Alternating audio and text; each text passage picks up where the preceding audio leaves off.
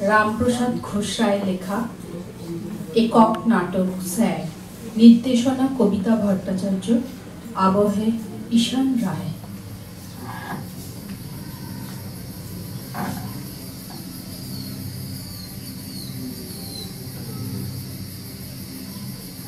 আমি স্বপ্নম আমি একজনকে ভালোবেসেছিলাম। সেই প্রেমটা ছিল মেয়েবেলার তখন আমি ক্লাস সিক্সে পড়ি। একদিন আমি পড়া পারিনি দেখে স্যার আমাকে বেঞ্চের ওপর দাঁড় করিয়ে দিয়েছিলেন নীরবে আমার দু চোখ ঝরছিল যখন স্যার আমাকে বসতে বললেন, আমি বসিনি। স্যার জোর করে বসাতে আসলে আমি জড়িয়ে ধরলাম স্যারকে।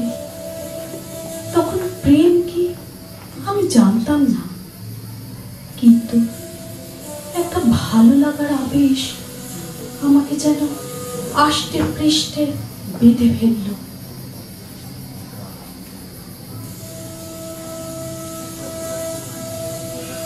আমি মুসলমান, স্যার হিন্দু। আমি হিন্দু, মুসলমান, কিচ্ছু বুঝি না। বুঝি শুধু ভালো লাগা, ভালোবাসা। স্যারকে আমার খুব ভালো লাগে, খুব। অনেকগুলো বছর কেটে গেল। আমার এখন উনিশ বছর। স্যার কি জানে? উনিশ বছরের মেয়েকে কেমন করে ভালোবাসতে হয়? না জানলে কেন একদিন চুপে চুপে বলেছিলেন নমি নমি আমি তোমায় খুব ভালোবাসি নমি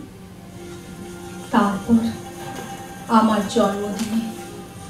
সুন্দর একটা ছোট্ট ব্যাগে দশ টাকার নোটে তিনশো টাকা দিয়েছিলেন স্যার কলকাতায় নতুন চাকরি পেয়েছে। ছোট্ট একটা বাড়িও কিনেছে। বলেছিলেন, তুমি চলে যেও নমি আমরা বিয়ে করব।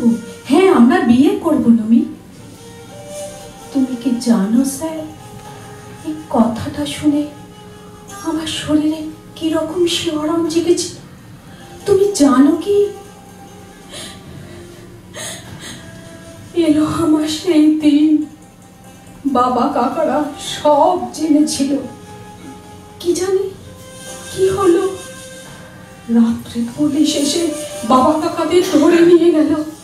আমি আমি বাবার প্রেসক্রিপশনটা নিয়ে ওষুধের দোকান থেকে সব ঘুমের ওষুধ কিনে নিলাম। আমার কাছে তোমার দেওয়া ওইটুকু টাকার যে সম্বল, স্যার, তার থেকে দু কাপ চা কিনে সব ওষুধগুলো মুখে দিয়ে ট্রেনের টিকিট কেটে ট্রেনে উঠে বসলাম। একটা নতুন চুড়িদারও কিনেছি, স্যার। তোমাকে দেখাবো বলে।